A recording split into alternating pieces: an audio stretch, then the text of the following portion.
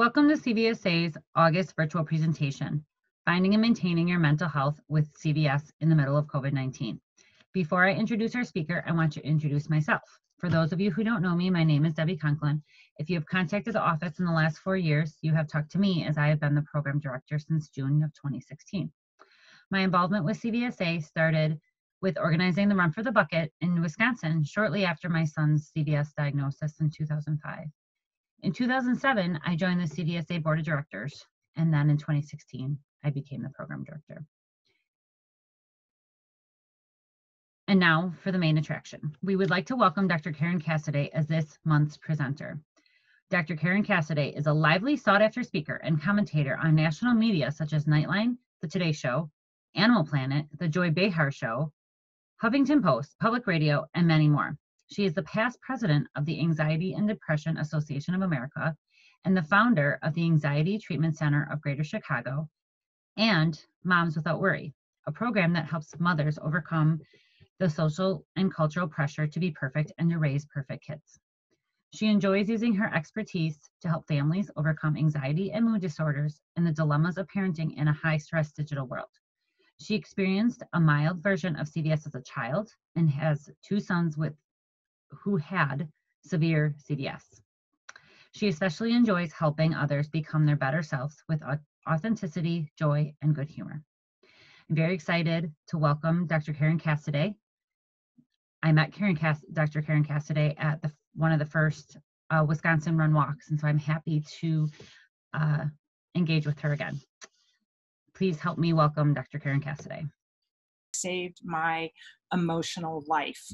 Um, and I cannot thank Dr. Li and the CVSA enough because I there were times where I felt like I was didn't know whether to pray for my son to die to stop his suffering or to carry on and when I learned that there were possibilities and hope it changed my prayers into ones of optimism.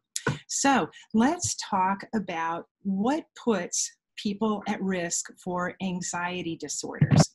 And the reason I'm talking about anxiety disorders is that if you have cyclic vomiting, then one of the comorbid conditions or mental health conditions you are most at risk for is to have an anxiety disorder. We know that genetically those run together, along with running together with migraine disorders.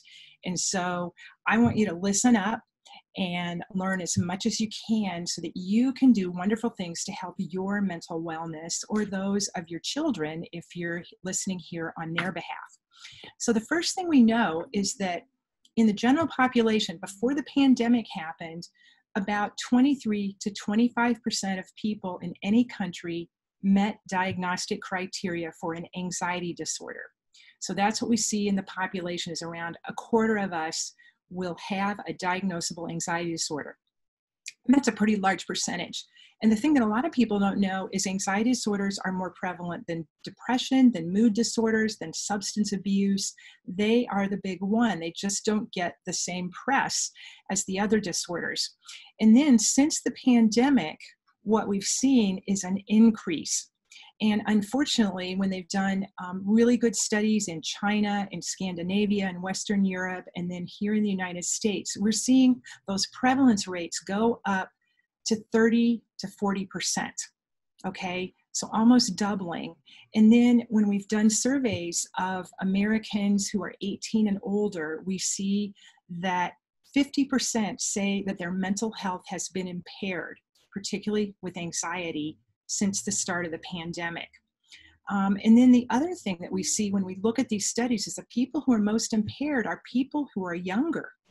Um, and that is something that is alarming. So we're seeing the younger you are, if you're a young adult, if you're a teenager, you're in your 30s, you're much more likely to have difficulty with this than, say, if you're in your 50s or 60s or 70s. And then another thing that we see happening is that before the pandemic happened, um, over the last 30 years, we've seen an increase in anxiety disorders and depression amongst the millennial population and younger, so mid 30s and younger.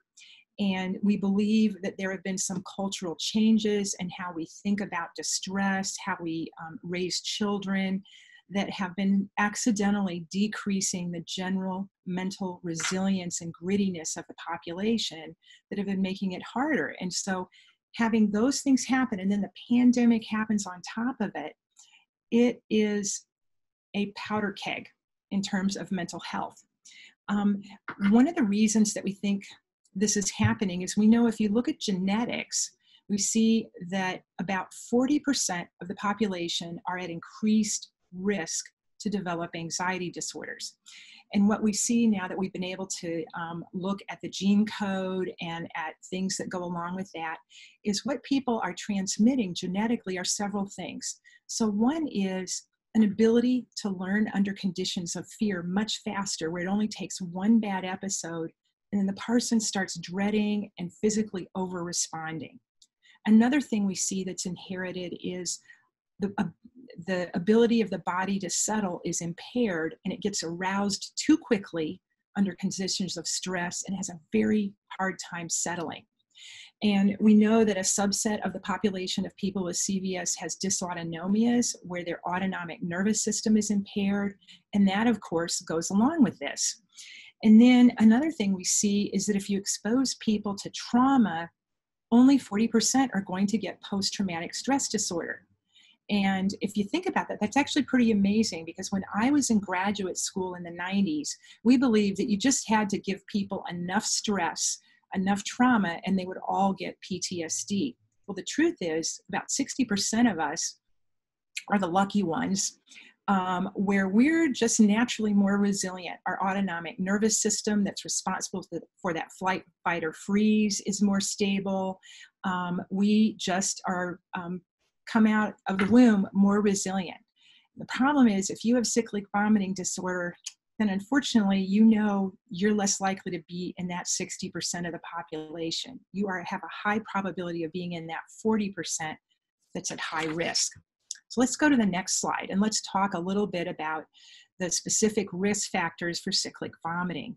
So we know that um, CVS is comorbid with anxiety disorders. That's a known fact. And then also, this used to happen to my kids is that when you have CVS and you get any viral illness or bacterial infection, then that can trigger it and you know my family used to joke about this and say you know all roads lead to cyclic vomiting if my kid when they're in their bad state if they got a cold if they got the flu if they got anything then it meant weeks and weeks of cyclic vomiting and trying to get that back under control and so this is one thing that's really tough if you're a cvser and then you're trying to shelter and trying to avoid contamination with people that could be carrying COVID, then you are creating a condition of chronic stress and chronic alertness and arousal that unfortunately is going to start wearing down your nervous system and make it easier to get anxious and to get CVS.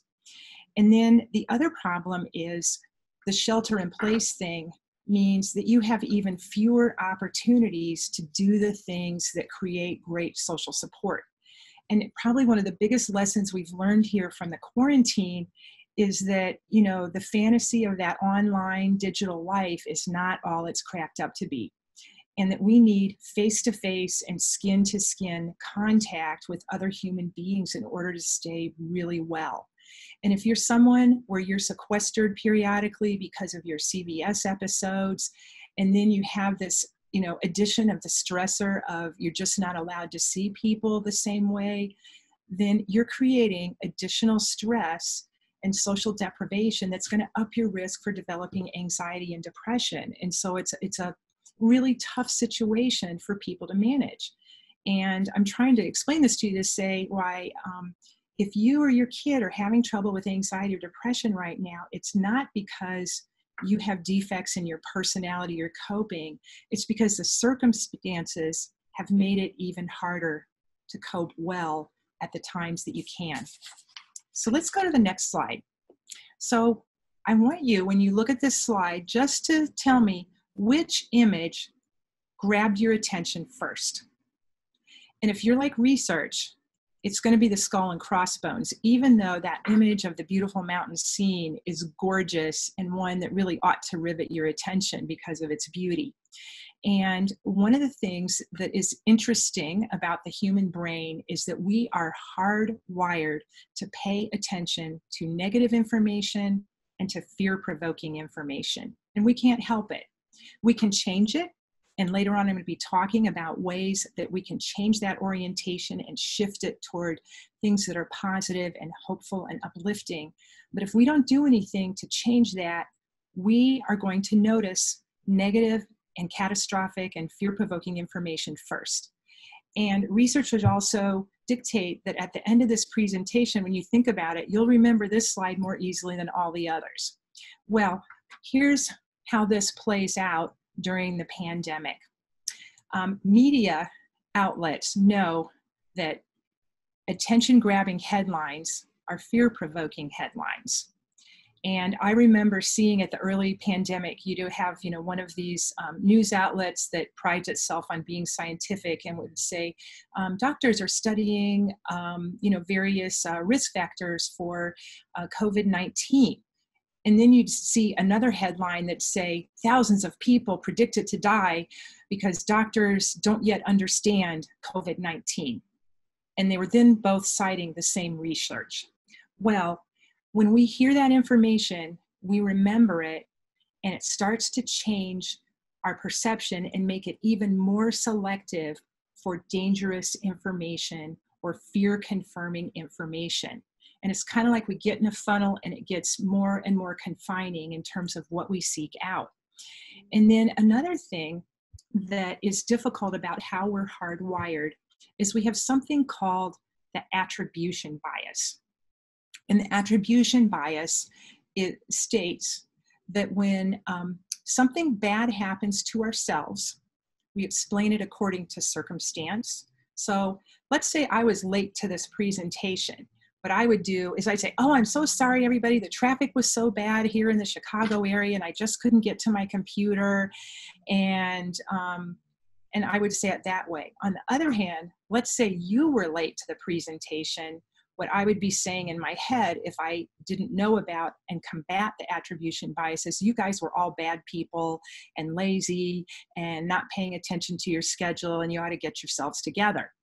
Well, one of the problems with this is if you're hardwired to look at negative things and you're hardwired to say there's a bad reason that other people are not doing things that make me feel safe or make me feel comfortable then you're going to be looking at the world as though it's a more and more dangerous place, a place you can't trust, people you can't trust, and you're going to just get yourself into a mental, um, mentally ill stew, I guess is the best way to put it. And so we have to learn to combat those two biases if we're going to be truly mentally well. So let's go. Oh, and then one other thing I want to let you know that is also interesting is we always trust personal information, information that we have seen ourselves or experienced over scientific information. So let's say how this plays out. Let's say, for example, you happen to know someone who got very ill from COVID and died or nearly died. Then this um, means you're more likely to perceive yourself as being in extreme danger and everyone else as being very dangerous. On the other hand, if you don't know anyone who has personally experienced COVID and you're only reading about it in the news, then you're not going to feel in um, personal danger the same way. And you're going to feel like, what's the big fuss? Why is everybody so bent out of shape in New York City? You know, here in the Midwest, it's no big deal. Um, and it has to do with we tend to trust the stuff that we experience over anything that's scientific or useful. And all of this can make us mentally ill if we're not aware of it and trying to do something about it. So let's go to the next slide. So I want to ask you, everybody be honest with yourselves. You don't have to raise a hand on Zoom here. How many of you have gotten righteous, righteously mad or indignant about people not wearing masks or about people forcing you to wear masks? And I'm going to bet some of you, if you're honest, are going to say yes to that. Well, fear oftentimes makes us angry, and you've heard of the fight, flight, or freeze response. Well, one of the responses we get that people forget about is when we get mad, when we're anxious, we start attacking and we start diminishing those other people, and it heightens our sense of danger. And um, anxiety is very activating, it energizes us. And so, if you're that kind of person that easily gets mad and righteous, it means you're going into the fight response of the fight, flight, or freeze. And that is actually not very helpful because the truth is, everyone's right. Everyone has reasons, good reasons, for why they think the way they do. If you don't know anyone who's gotten sick and you're really into your personal freedom and you have no personal experience seeing the illness, you are going to be less likely to believe that people ought to wear masks all the time. If you're a science junkie like I am, where I've learned to trust that then it's much easier for me to go along with that at the start of the pandemic when I don't know anyone who has had any problems with it. I believe what I'm seeing in the news. Let's go to the next slide. And this is about the freeze response. And this is one that a lot of us have experienced during the pandemic. And it's where we get indecisive and we keep trying to research more information you know what's the right kind of mask to wear? You know should i have an n95 or an n100 um, if my kid or i'm outdoors and there's no one around should i be wearing a mask? Or um, do i only put it on if i see you know can see people? Um, you know uh, so what exactly happens at six feet? What if someone sneezes? And this freeze response is a real problem for people because you get stuck in indecision and you can't move forward. And I've seen, you know, uh, patients and other people where they're just over researching everything all the time and then feeling like they can't move ahead with their life. And right now, a good example would be I have quite a few families I'm working with where their school is offering um, you know a hybrid way of coming back to school where there's some time in the school and sometimes out and they can't decide whether or not they should do this whether or not it's the right thing to do for their family and the particular risk factors they have and the same is going to be true for you if you have a kid with cyclic vomiting or you have it about when do I return to work.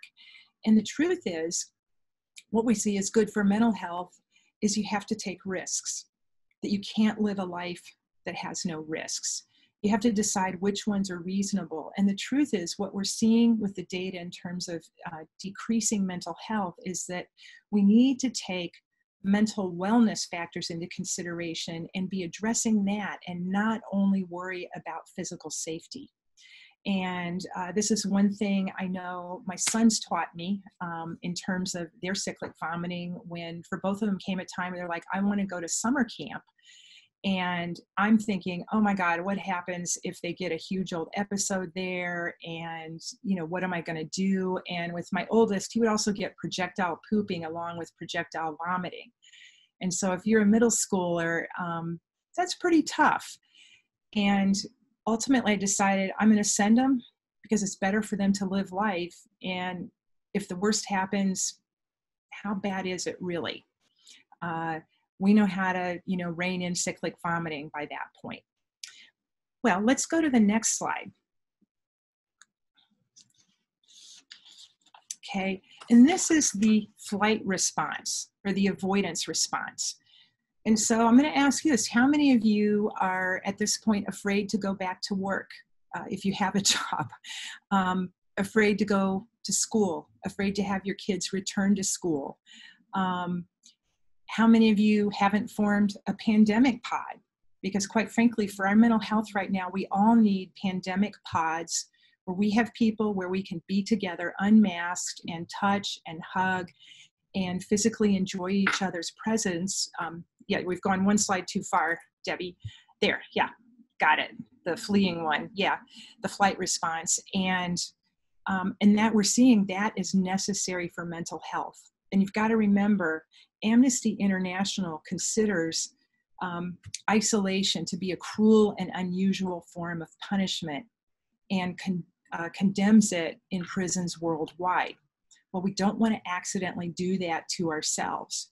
And we have to remember digital life is not quite as good as um, life online. And then the other thing that we see is um, when someone is in the flight response, they can be stuck just living at home. And so I have people where they're ordering everything online, they're not venturing out for anything, they haven't gone for a walk, they're just you know doing laps in their house or on a treadmill or a stationary cycle and um, everything is on amazon. And quite frankly as a mental health professional that is not good. Um, and these are people where they don't have some terrible immune disorder and even if they did we'd still want to be doing some kind of moving about and reclaiming some of your environment in a socially distanced masked kind of way so let's go to the next slide So, negative reinforcement is what happens when you do any kind of quick escape from something that makes you scared without naturally letting your anxiety come down on its own. And in this cartoon, we have an illustration of it. Um, another great example that everyone is familiar with is if you have a tantruming baby or toddler and every time they tantrum, you give them a bottle of milk or a cookie, then you're going to have two things happening. You're going to have a kid that cries a lot more and a lot louder, and you're going to be handing out a lot of cookies and bottles. Well, anxiety is like that toddler or that infant that is demanding more and more in terms of fight, flight, or freeze. And we know that um, you know this can be difficult because i can remember when um, the quarantine was over in my area and they're saying okay it's safe to return to stores feeling just a little nervous. And i wasn't you know intellectually thinking this was a danger to do. It's just i had spent six weeks indoors not being around people other than my little pandemic pod. And because i come from a long line of anxious people it just set up some negative accidental negative reinforcement and it also is the same thing that happened when my oldest son um, was at the point where we are trying to return him to school, where we'd stabilized his cyclic vomiting after a you know nine month hellish period. And what would happen is I'd drive to school, and quarter of the way there, he'd vomit. He'd start crying, saying, "I'm too anxious. I can't do it." So every day we'd drive a little farther until we got him to school and we were doing exposure therapy. And even though he was crying and refusing, I would just shove him in the car because I knew I needed to stop the negative reinforcement of just staying at home and not believing that he could do more than he believed he could do. Um, another thing that's tough is that negative reinforcement makes us seek reassurance. And a lot of times people think of this as being um, thoughtful and scientific when they do more research or they compare with other people. What are you doing? How are you doing it? They look for more articles. And healthy research is where you're doing it to find information. Unhealthy reassurance seeking is where you're doing it to curb anxiety. You're trying to make sure of the facts. Well, the truth is, in the pandemic right now, we're still finding out the facts and we don't have anything that's perfectly certain. And the other truth, having lived with cyclic vomiting myself and for my two sons, is you know, there's never a guarantee about whether or not it's going to be a perfectly easy time or something could happen with cyclic vomiting. You do your best, and it's sort of like a crapshoot sometimes. And the trick is to learn to go ahead anyway. And this negative reinforcement can get us really stuck and it can make us very rigid. And particularly for those who suffer with cyclic vomiting, it can make you pick a goal that is unrealistic, which is I can only socialize, I can only be at work, I can only be at school, I can only do stuff if I feel good. Well, that's not realistic. The truth is, if you didn't have cyclic vomiting, there are plenty of things you'd do if you didn't feel good. And what we've seen in terms of clinical work with people at cyclic vomiting is part of the recovery is getting back into your life. And this needs to happen during the pandemic, even though it's the pandemic, because life is too precious to spend it on negative reinforcement. Um, the other thing you need to know that's really tough about our brain uh, is that our brain is kind of stupid. When we feel imagined fear, such as watching a movie or thinking about something scary that will happen or how we might throw up if we're out on this date or if we um, go to this overnight or if we return to work, our brain reacts the same as if it was a true scary situation. And it's what makes roller coasters thrilling for people. It's what sustains the um, horror movie industry or books that have scary scenes. The dilemma is if you're not aware of that, then it means when you feel a surge of anxiety, you're going to mistake it for a strong signal that says freeze, avoid, or fight. And you're going to misinterpret that false evidence as appearing real. And so the acronym FEAR, false evidence appearing real, is really apt for you to remember. And it means that one of the things that you're going to have to do is to learn to pay attention to the context and to say, just because I'm scared doesn't mean something bad has happened. Just because I can imagine the bad thing or feel it in my body doesn't mean that I am really in danger. So let's go to the next slide. Let's talk about intolerance of uncertainty. So I'm going to guess there's some of you in the audience who can identify with these shoppers. And these people, of course, are hoarding supplies at the start of the quarantine during the pandemic. And what happens when you have intolerance of uncertainty is that you work hard to get rid of that uncertainty by only focusing on the range of what's the worst case scenario. And this is one thing that people with anxiety disorders tend to do is they feel like better safe than sorry.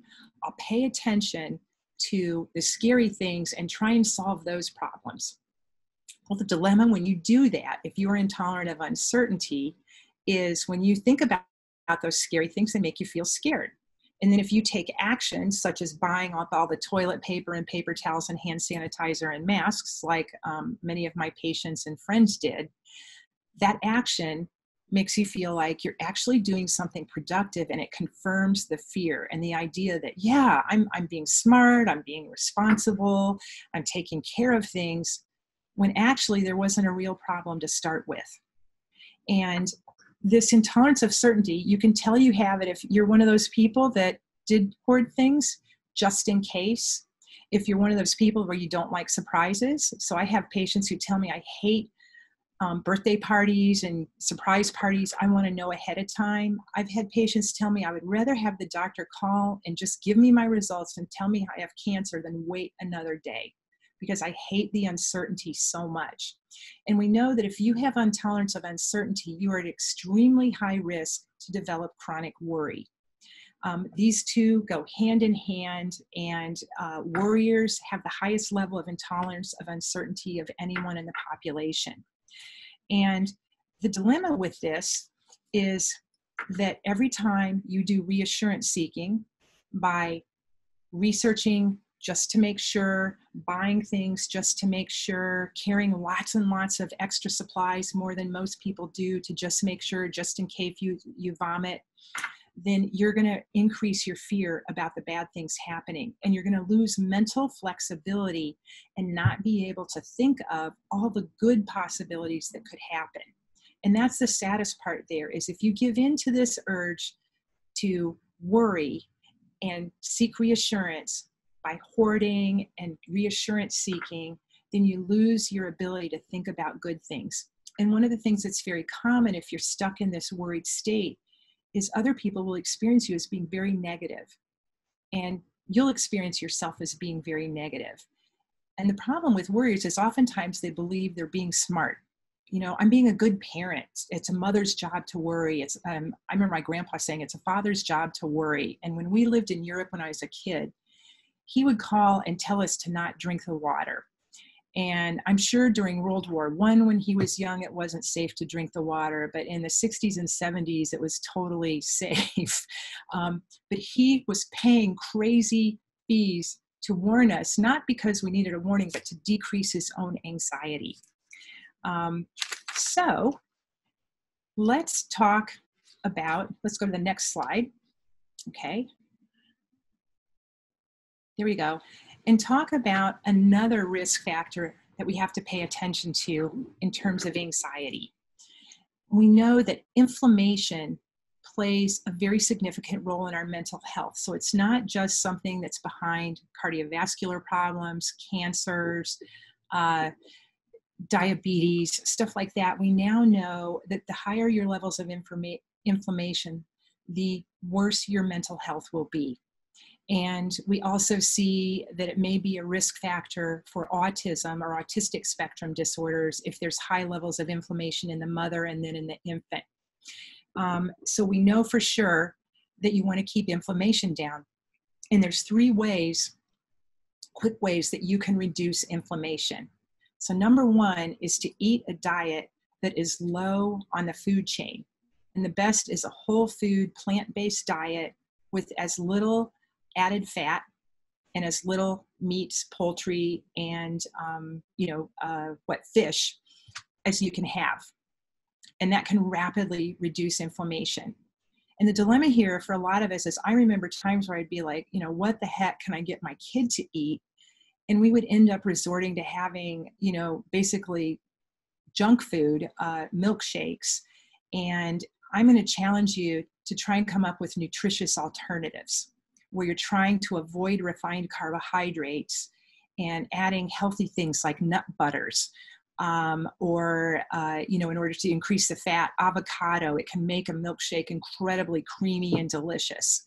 Uh, and so and if you go online and you look up vegan recipes whole food plant-based low inflammation diet fodmap diet all of that you can find ways to feed yourself or your kid in a way that's healthy that's going to help you and your mental health the second one is exercise and we see that if you do regular exercise, it is so wonderfully good for helping to reduce inflammation.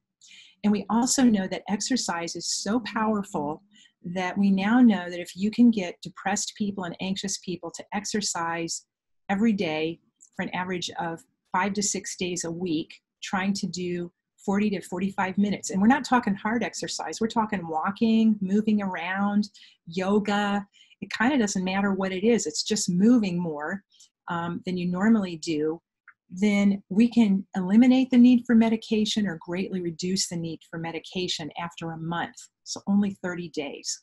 So exercise. So that means you want to become a mover. And I know when I used to work with Dr. Li, we were always looking at ways to try and increase my kids' fitness because the more you lose it, the easier it is then for stress to make, you know, upset the apple cart.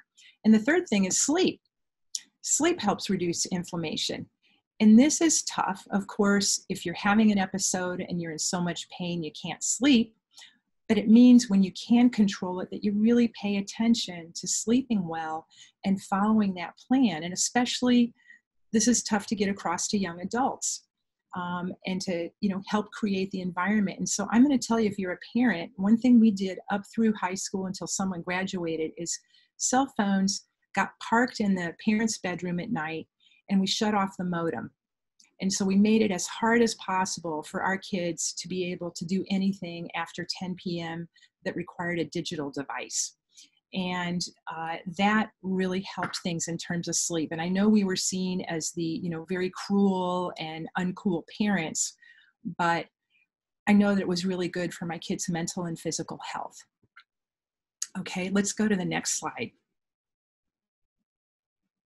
Okay, let's talk about agoraphobia, or you might have heard the word agoraphobia. And this is where someone is afraid to do something because they might get an anxiety attack.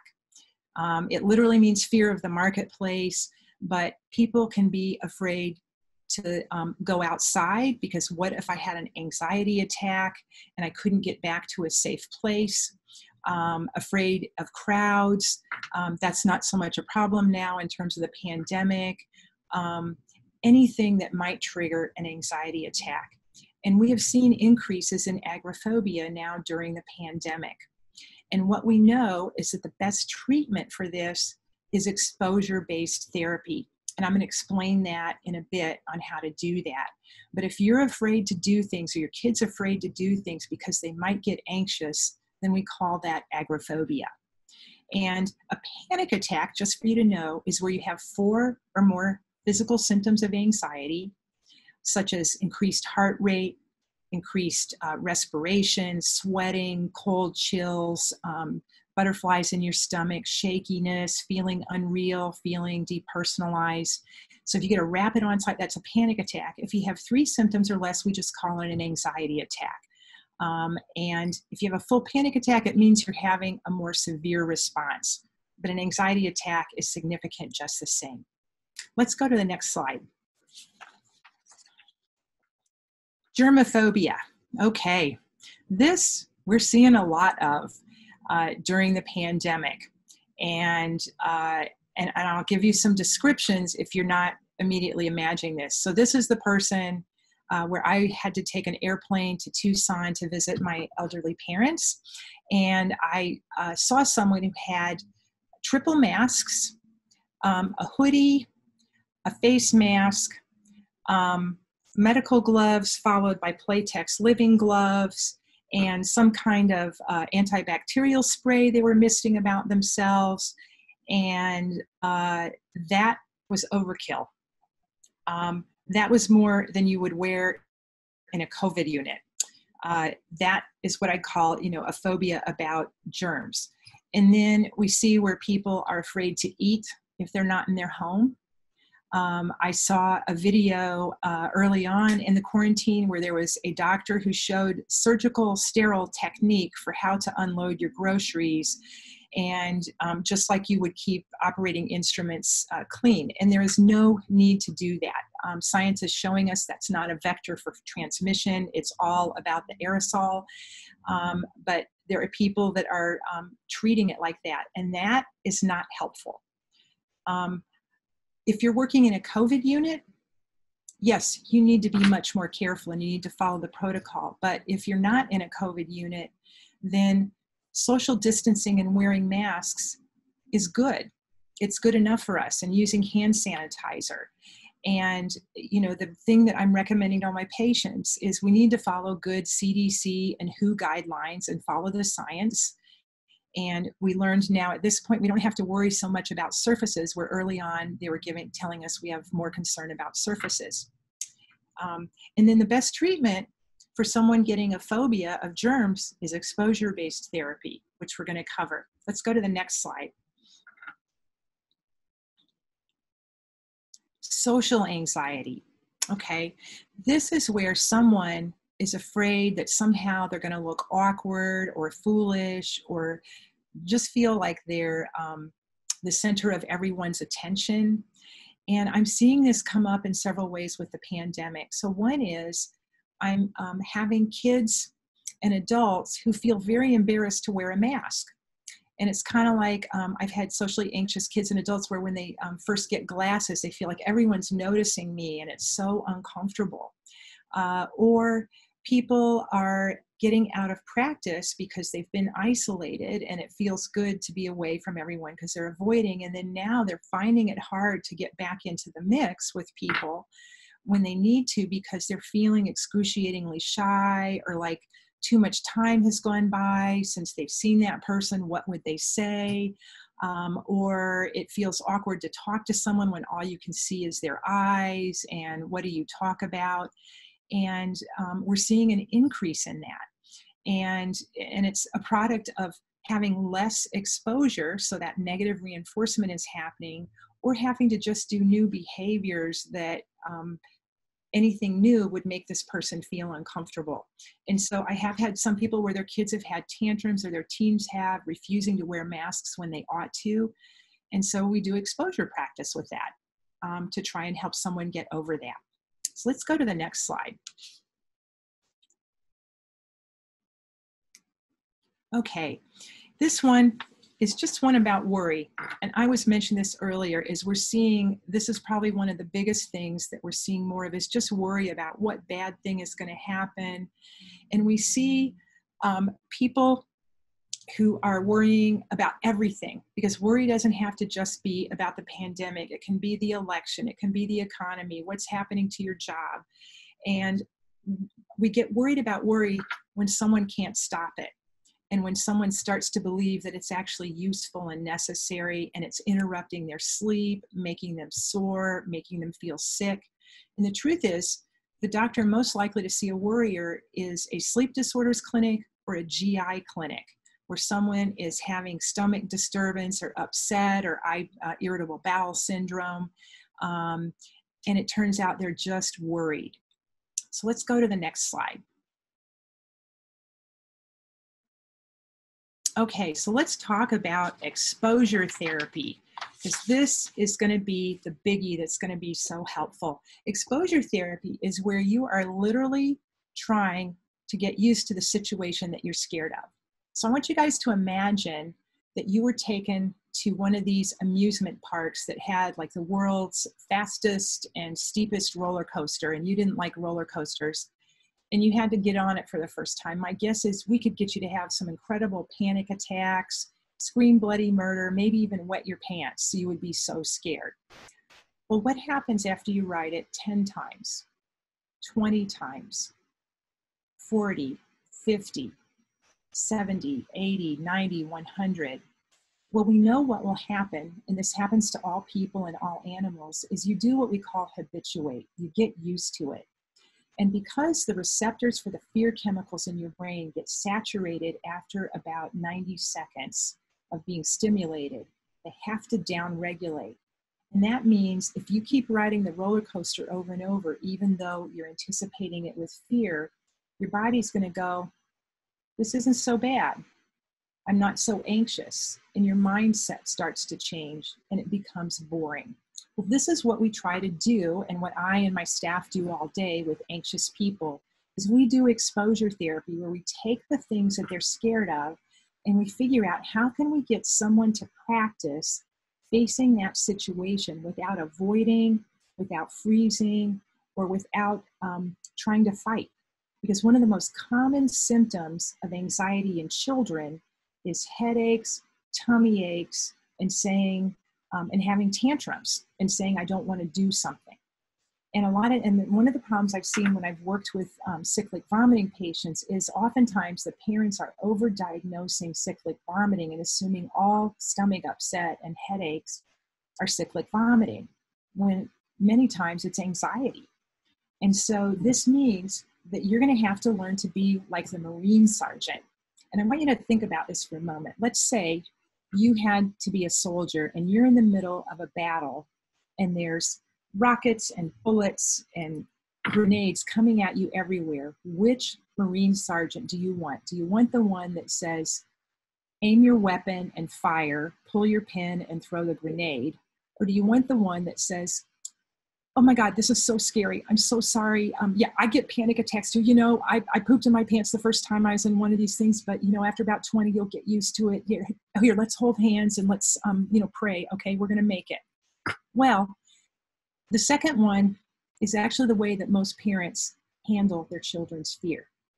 They over accommodate and they prevent opportunities for exposure and for the child's body and brain learning I can handle fear.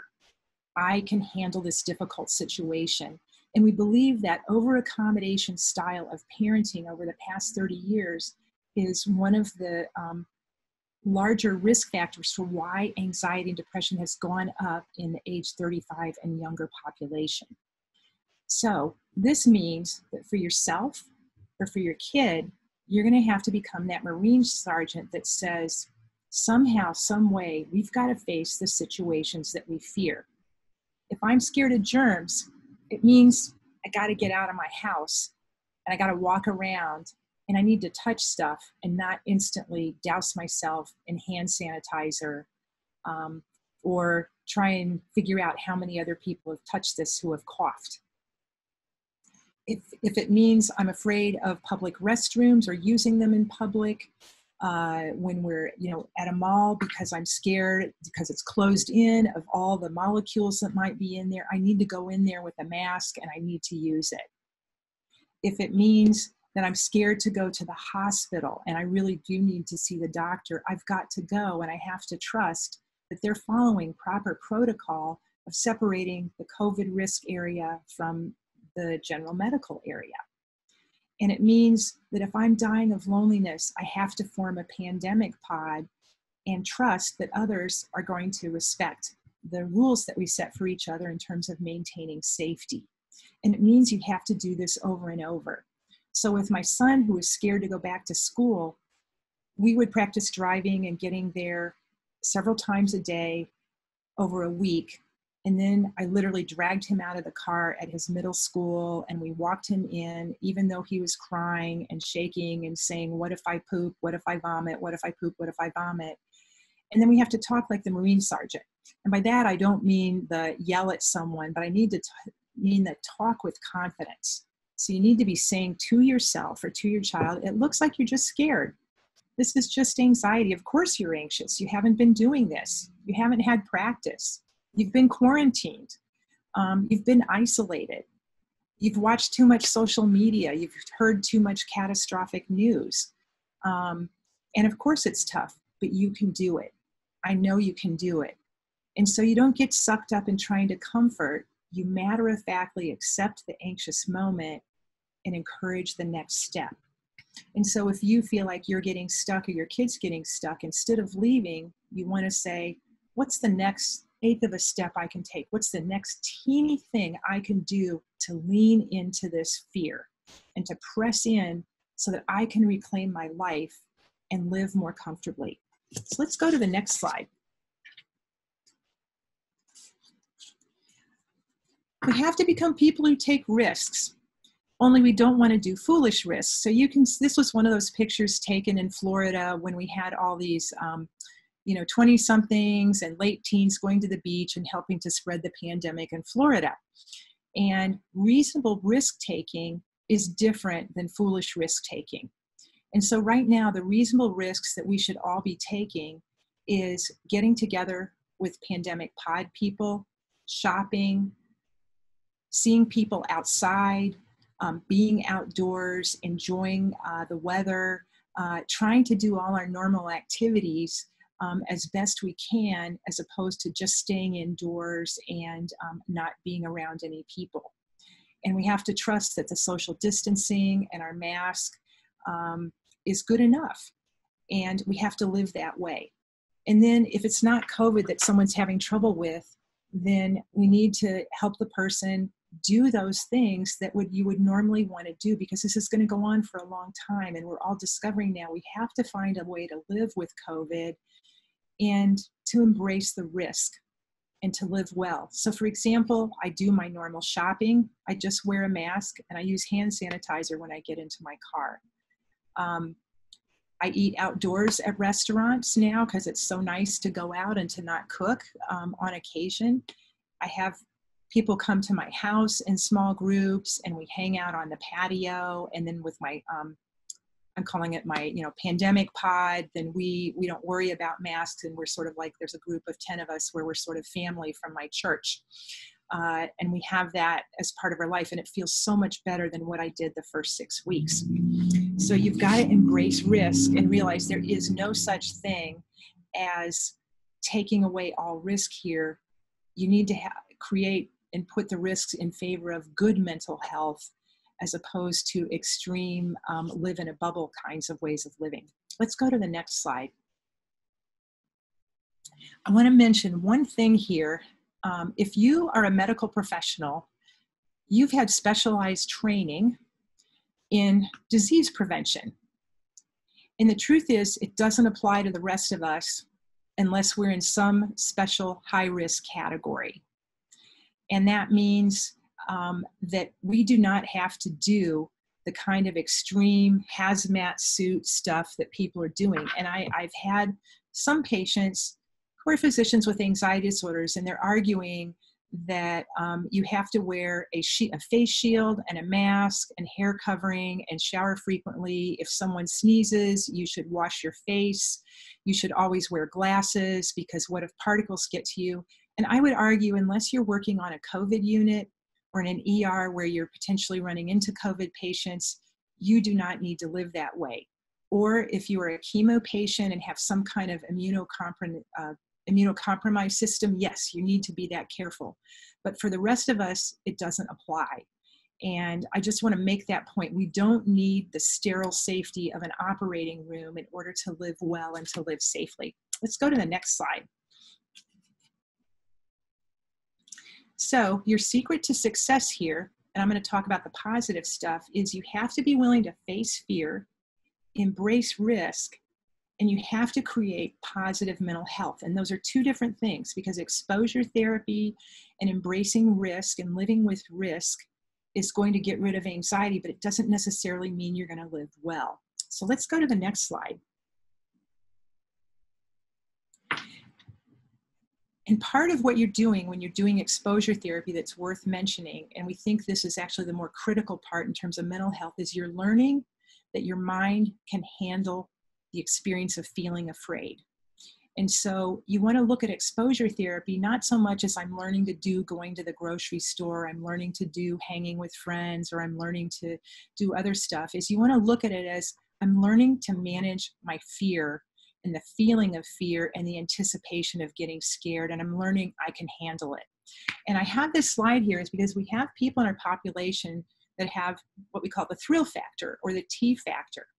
And they're the opposite of people with anxiety disorders. Um, no one in my family has ever been born this way. They're the ones that seek out extreme sports, that like climbing without ropes, um, doing those kinds of things. They join the Navy SEALs, they think it's a cool idea. Um, they're not us, but um, they've shown us that you can learn to enjoy that experience or at least not be traumatized by it and just go, this is ordinary and normal. Of course, there's times where I'm going to feel anxious. Let's go to the next slide.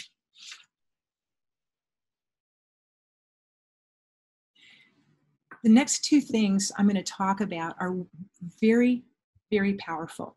And I'm sure you've heard about gratitude. I know that if I go to Target, you can see gratitude journals or you see posts online. And it's become trendy for a reason.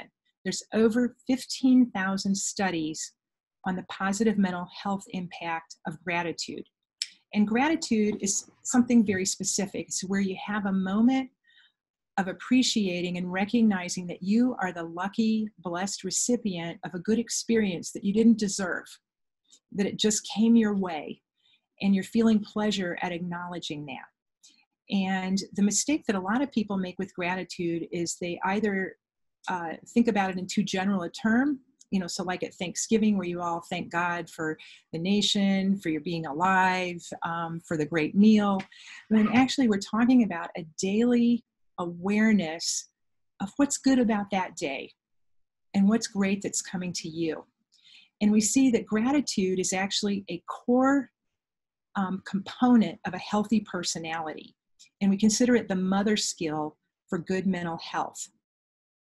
And so when um, they've done research, they found gratitude is so powerful that if you get someone to write down three things a day that are specific to that day that they feel grateful for, in 30 days, you can alleviate depression. You can gra- greatly decrease anxiety you can be really helpful. And we've seen that people who have um, optimism and grit and who've survived very difficult things are people who easily feel grateful. And so, if there's any skill that I want to give my kids, it's the skill of gratitude. And so, here's how I recommend that you do this. So, number one, we see that writing it down or speaking it out loud to someone works better than typing it.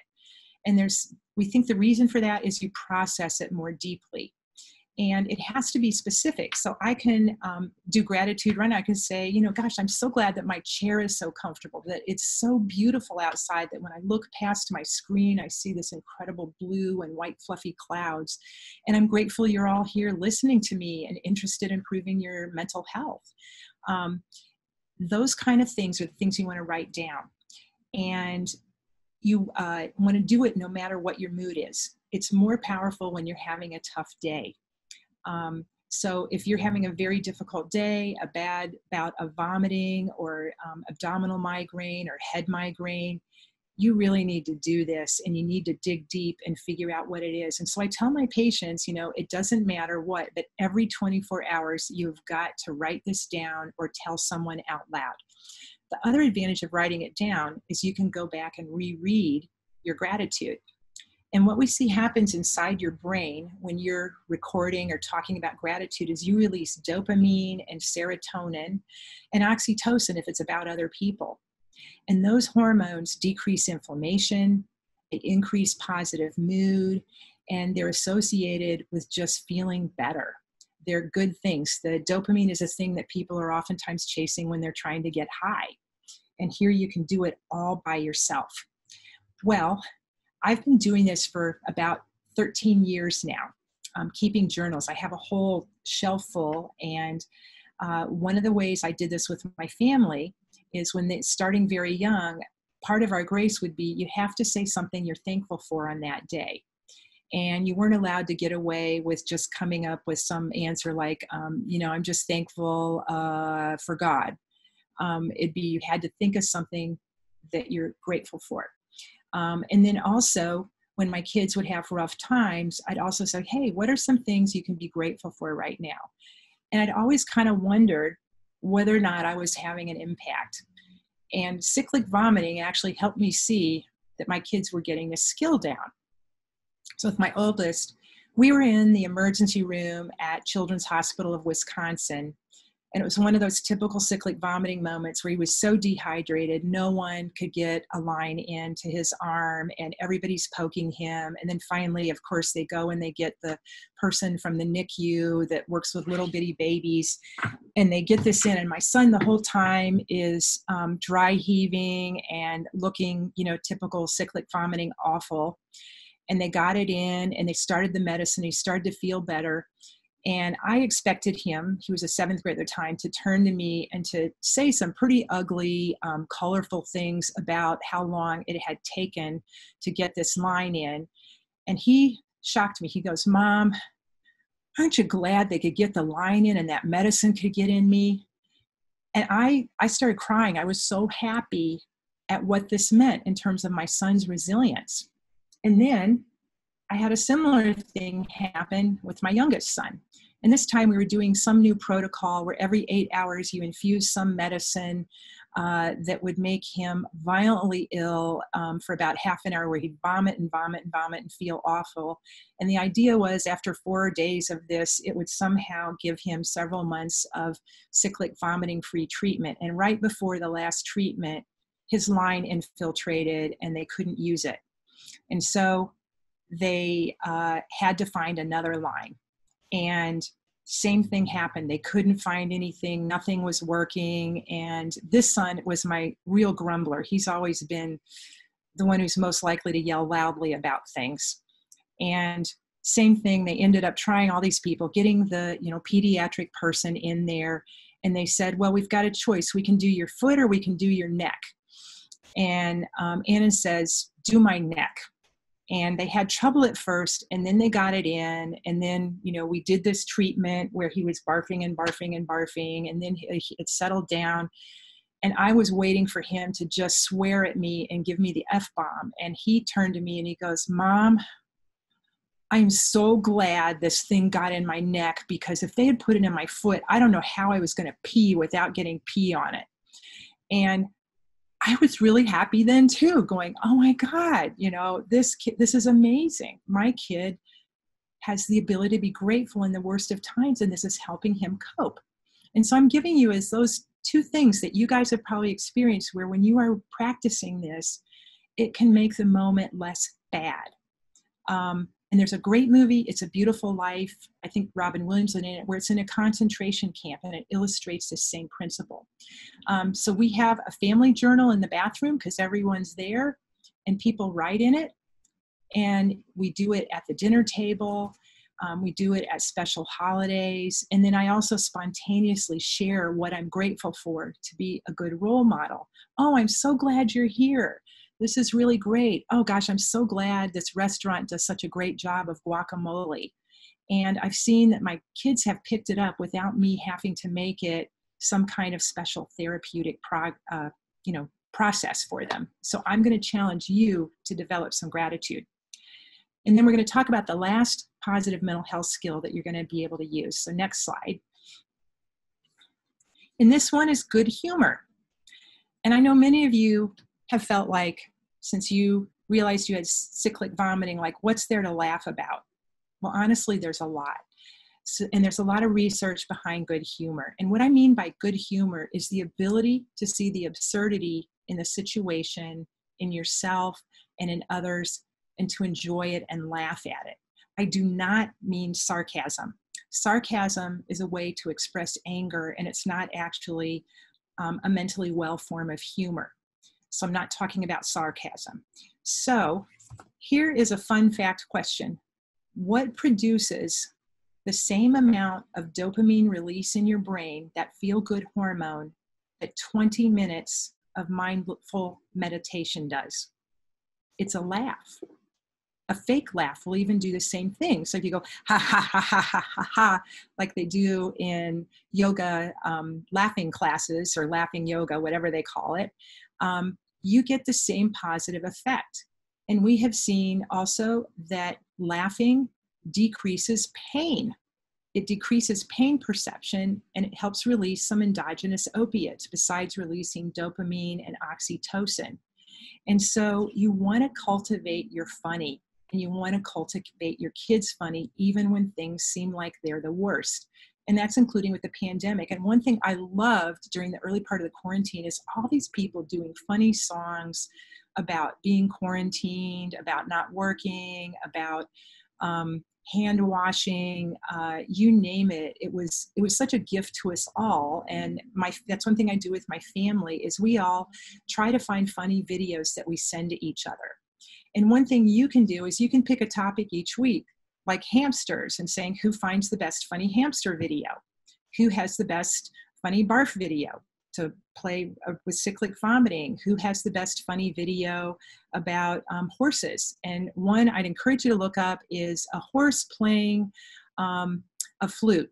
And there is this hilarious video where someone shoves a recorder up a horse's nostril and uh, fingers it while this horse blows out and they do Mary Had a Little Lamb, and it is priceless. It makes me laugh every time.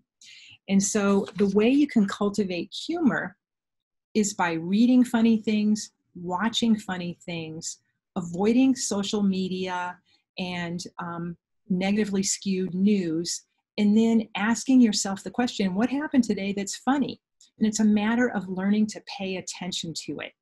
And so, I would encourage you to ask your partner, um, your child a different question than what happened today or what happened to school is to ask them instead what's the funniest thing that happened to you today? Or what's the funniest thing that happened to you this week?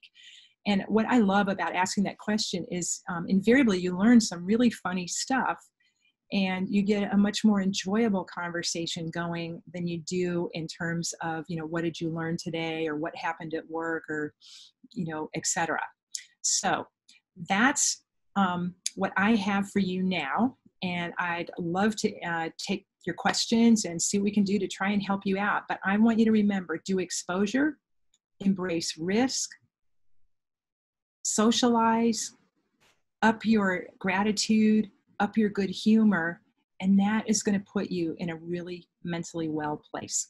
Thank you. Thank you, uh, Dr. Cassiday. That was some great information. Um, so I'm actually going to ask a question that I get a lot um, yeah. working for CVSA, and that is what type of therapist is good for working with someone who has CVS? Yeah, the, um, there's two types that I would look for. So one um, is called a behavioral medicine specialist, and this would be um, a master's or doctoral level therapist who has specific training in dealing with the mental health aspects of having uh, medical uh, or neurological disorders, you know, such as cyclic vomiting. And so they would be much more likely to know about cyclic vomiting or to easily learn about it and feel comfortable with it. And um, also people who specialize in working with pain um, uh, you know, pain management. Uh, and both these groups are accustomed to using um, exposure approaches to you know help children and help adults who suffer from that and then the other group are going to be people who specialize in anxiety disorders and if you go to the anxiety disorders association of america so adaa.org um, you can easily find people throughout the world um, and then also the International OC Foundation iocdf.org that um, all their people are trained and usually people or say always people who work with ocd work with all the other anxiety disorders. It's more a, a facet of um, a marketing strategy. Uh, and those those three groups are going to be people that um, are familiar with this and have worked with kids that have cyclic vomiting or um, chronic pain or chronic medical illnesses or um, physical conditions that you know are comorbid with anxiety and so this is not going to feel strange to them. If you go to someone who's just a generalist um, then i wouldn't recommend it because not only will cyclic vomiting seem unbelievable a lot of times the way they interpret things they are much more likely to think there's secondary gain that someone's doing this to avoid something um, as opposed to the problem is the disorder uh, you know, and that's certainly what happened to me. I um, I actually got misunderstood as having Munchausen syndrome when I was in the ER once with my son, and the resident had not read the chart on record, didn't know the diagnosis, and they were interviewing me for Munchausen's, and I was just furious. Uh, you know, Munchausen's is where, by proxy, is where someone's trying to induce a medical problem in their child to get attention. Um, you know so you want to go to people where this this is going to seem like a something that's within their uh, wheelhouse and they're comfortable working with it thank you that's um that's good information because that is definitely something uh, a lot of people are looking for uh, with cvs yeah. Um, oh, you know yeah. we have the doctor's list but we don't really have the mental health piece of it yeah absolutely um, and the society for behavioral medicine um, is another place you can go on the internet where it would have therapists who are trained in the behavioral medicine. So I forgot about the SBM, Society for Behavioral Medicine, and they list people who work with disorders such as this. Okay, perfect. Um, let's see. Next question. Um, so it says, when my son gets an episode, I freeze. I feel so bad for him that I am unable to function as normal. I cannot separate myself from the situation and feel completely anxious. It is hard to watch him in pain. My husband seems to go about his normal day knowing that the episode will end. I'm unable to do so. Any tips on how I should best react? Yeah, um, what you're describing is not uncommon. And I have worked with quite a few parents where, where this is a big problem for them, where either um, seeing the vomiting, you know, so that is, is just freezes them, um, or just seeing the agony or hearing the moans. And and so here's some suggestions. Number one you need to take the exposure therapy a- approach because when you're stuck in that freezing or avoiding and you have your husband or someone else handle it you're never going to develop mastery over your fear. And you can do this in several ways. So one would be to have your um, husband videotape your son when he's sick and then to have you practice watching these videotapes first with the sound off and while you're watching it, instead of trying not to watch it, to look at it and then to say something different to yourself. And I want you to say something like this, which is, um, I know he's in pain, but he needs to see my courage and my coping so he can learn to cope. And this isn't the worst thing that could happen. Yes, it's unpleasant and life is never fair, but it's just feeling sick. His life isn't at stake. You know in other words his health isn't threatened. It's just this incredibly unpleasant moment. And since i can't change that this happening the best thing i can do is to help him cope. And then i want you to try and slow down your breathing with your mouth closed and to breathe as slowly as you can through your nose so that you don't accidentally create a panic attack by over exhaling carbon dioxide and to watch and then when you can do that more comfortably and remind yourself this is unpleasant, but it's not life threatening. My son needs my courage. Um, and he knows that I love him. I don't have to show him more empathy or sympathy. I'm going to learn how to be a Marine sergeant. I would gradually turn up the sound. And then what I would do is I try to do the same thing. When your husband's assisting your son. I want you to try and stand at a distance and watch and keep trying to get closer and then get to where you can have your hand on your son's shoulder while your husband might be helping him vomit or helping clean up or you know whatever they're doing. Um, but i want you to do the opposite of looking away and avoiding and not hearing. And and you're going to have to be tough on yourself um, because you're going to make it worse for yourself if you run away and then the thing I hear from kids who have parents who do this freeze response or who cry when they get really upset is they misinterpret it as, wow, something must really be bad. And what they really need is someone who can just direct them to getting through the next moment, um, but who's not caught up with, um, you know, over empathizing and, um, you know, feeling undone by it. So that would be my suggestion. And then you could also watch videos of people who are suffering and do the same thing. And if you think about it, this is what physicians and nurses do, and this is what mental health professionals do.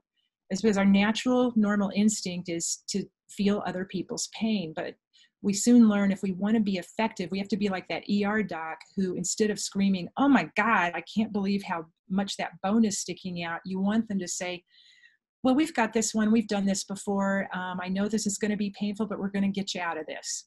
And that's the, the dialogue I want you to learn to have. Great, thank you. Um, let's see, this is kind of multiple questions from one person. Um, Mhm. I'll read the first couple, some of them. Um, well, I'll just let you decide how to answer.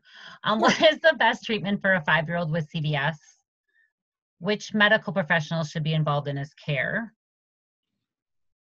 Um, and then medication was another question. Those are the first couple. Then I'll ask the other ones. Okay, um, I am a PhD clinical psychologist, not a medical physician. So I'm not able to speak on you know medications, but what I can tell you is typically it's going to be a gastroenterologist um, or a neurologist who's going to have the training to work with cyclic vomiting. And I know if you contact the CVSA, they can help you find experts in your area.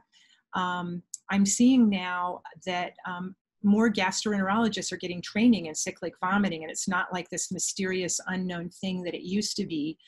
And then, um, you know, the the thing that I think would be important for you is right now you can help your doctor by keeping records and keeping a log of when your child has an episode, what exactly happens in an episode, what's the sequence of symptoms they have, um, what was happening the day before, um, how long did it go on, um, et cetera, et cetera, because that can help them start to hone in because there are subtypes of cyclic vomiting that have some different medication strategies uh, and treatment strategies that. So that's the best I can say, but I think the CVSA is going to be able to help you out more than I am.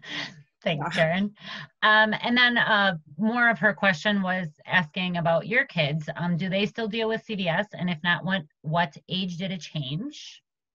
Yeah, for for both my boys, um, they had, in in hindsight, anytime they would um, get overly stressed, you know, we would have a week of vomiting when they were younger. But for both of them, is when they hit puberty and had a growth spurt, it went haywire, and um, both of them missed a lot of school. One ended up with a backpack IV, and it was very difficult um, for both kids for about two years. And then um, for both of them, uh, by the first and for my oldest and second year of high school, um, it went dramatically down. Um, and that's when they were growing less. And then for both of them, I'd say by age 18, it got to where uh, for my 19 um, year old, he only can get or, or, gets if he gets really tired he can get some abdominal migraines but he doesn't mind that he looks at that as like that's nothing compared to what i used to have and then with my oldest we don't have episodes anymore we just have to be careful if he gets really sick and then he might get a headache and some nausea but he doesn't go into an episode and i'm so thankful for that. So i was very fortunate they both outgrew it um, and that's you know greatly. And i know for myself if i don't take coq10 then if i get overtired i start to get abdominal migraines. And i found you know for me and this is something dr Li uh, taught me uh, and my sons take it is that has uh, made a big difference for me thank you for sharing all the personal stuff too what kind of anxiety therapy works best for a five year old um, actually it doesn't matter what age your kid is we work with kids as young as age two exposure therapy works best. And the fun thing with little kids is you can turn it into exposure games. And so this morning I had a little five year old and she is scared of people crying. She just had to go to a funeral.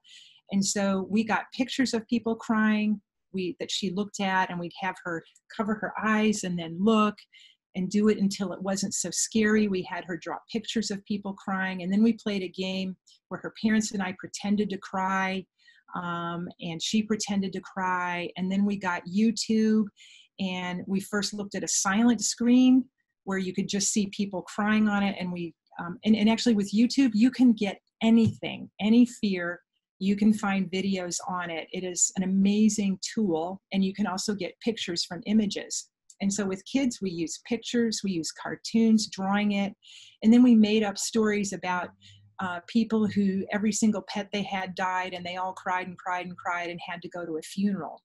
And by the end of an hour and a half, um, she was able to laugh and look at these things and not feel so scared and um, and be comfortable with her father's grief.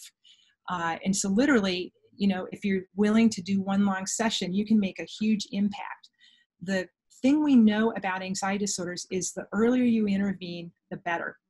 And so, the mistake a lot of parents make is if they start seeing dribs and drabs of anxiety a couple of weeks here, your kid is constantly asking questions about something or refusing to do something or hiding when there's a tornado, then they don't do anything about it. We found the earlier you intervene, the less likely they are to develop it later on during puberty or adulthood, and they have less severe episodes when they do develop them.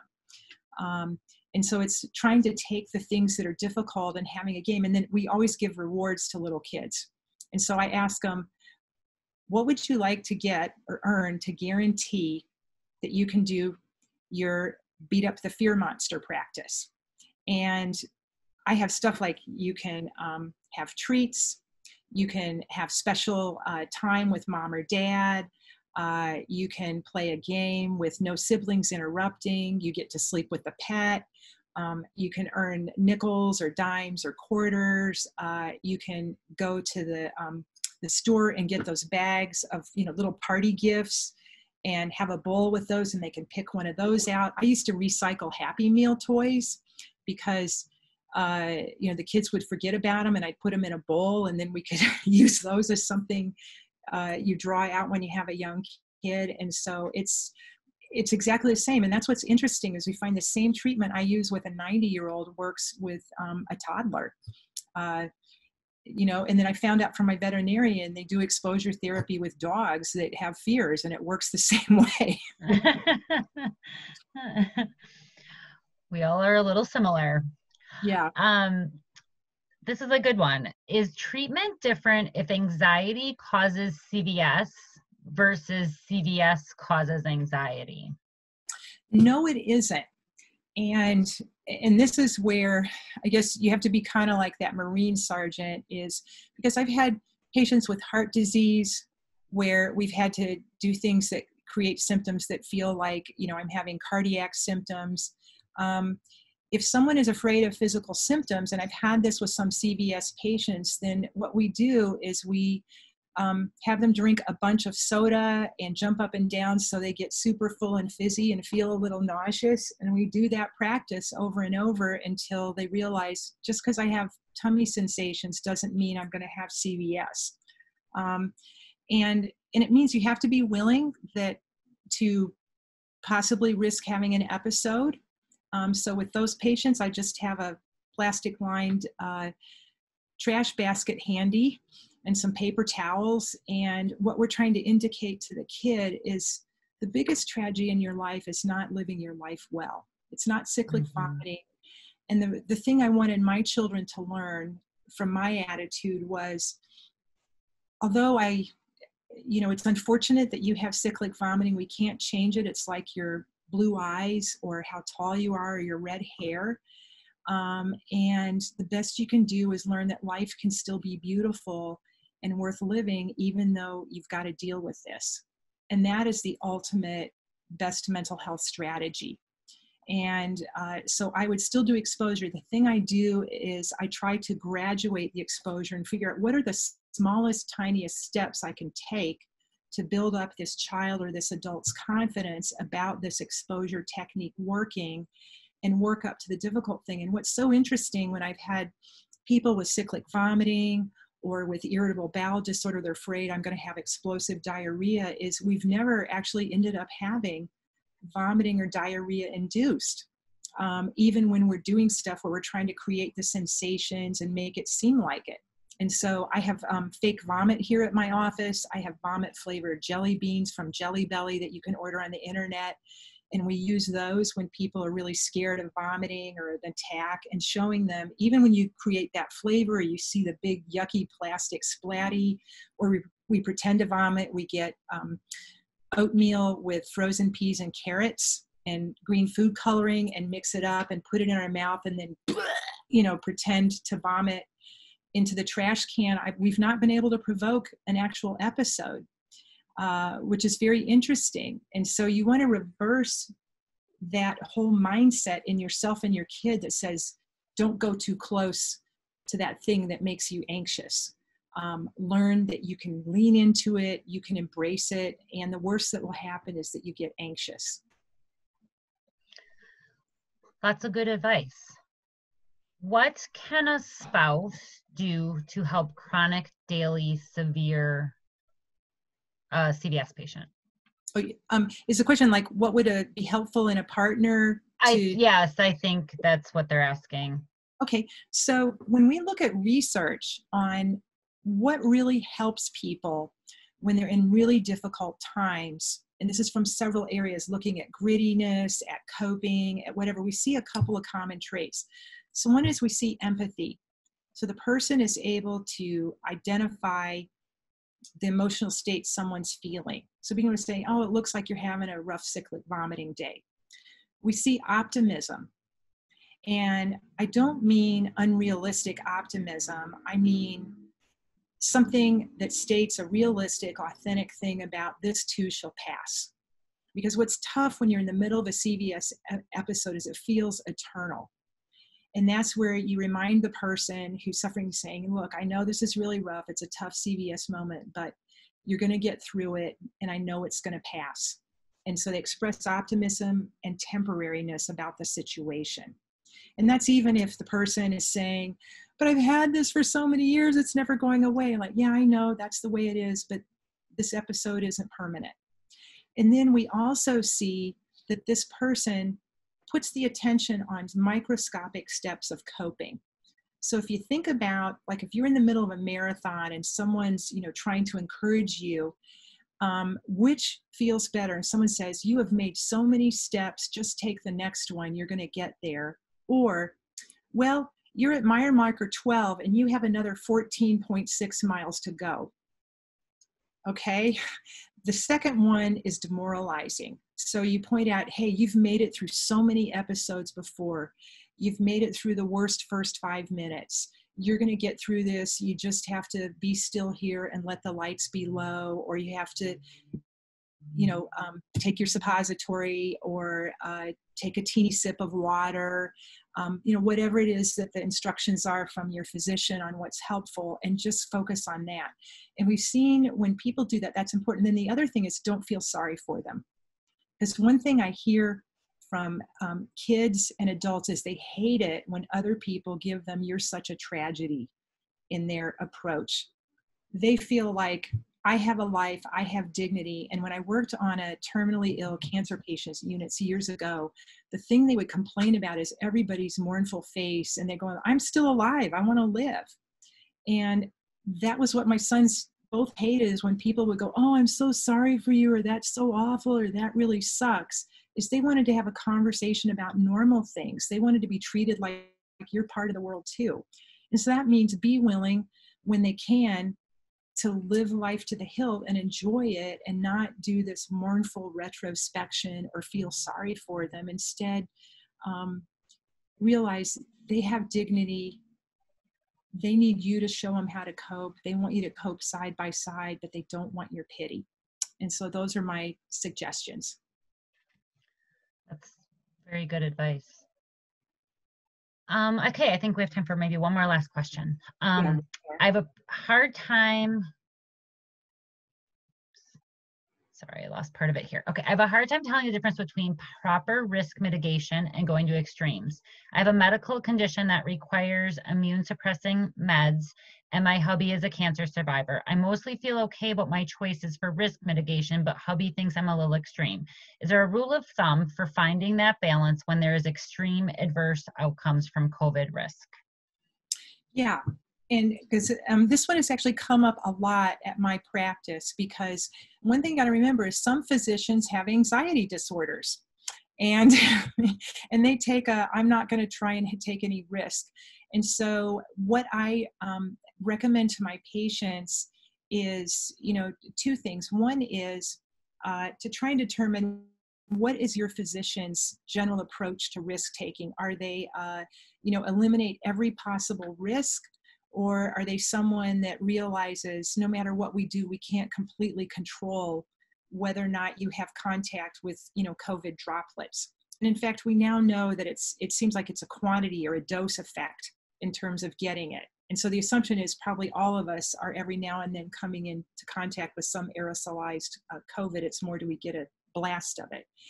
And so my rule for patients is is what you're doing allowing you to live a mentally well and physically well life. So, are you able to get out? Are you able to be around people? Are you able to do things that you need to do to live well? So, that's number one. Number two, is it the kind of thing that physicians in general recognize? So, I know on CDC and WHO, they do have guidelines for people like you if you're immunocompromised, if you have diabetes, that you need to follow more precautions than the rest of us. Um, the problem that I see most people getting into trouble with is when they start improvising and adding uh, and doing extra things, or they assume that the people around him who aren't improvising are somehow putting them at risk. And I want you to think of it this way, which is you may need to wear a face shield and a mask and gloves when you go to the grocery store and your husband or your partner may feel like, you know, since cancer is behind me, I'm not feeling like I have to go to that extreme. A face mask is enough for me, and I'll wash my hands when I get home. Is the mistake would be to say, I can't be around that person um, because they don't have COVID.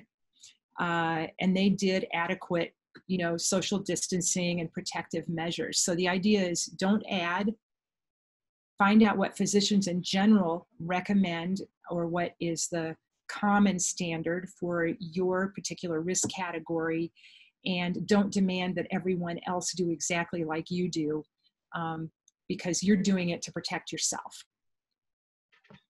Awesome, thank you. Okay, I think that um, that will do it for today. Thank you so much for joining us today and talking to us about mental health in these unprecedented times. And for everyone else, thank you for participating. And we look forward to bringing you some more virtual speakers. We have some more coming up in the next few months. Everyone have a good afternoon. Thank you.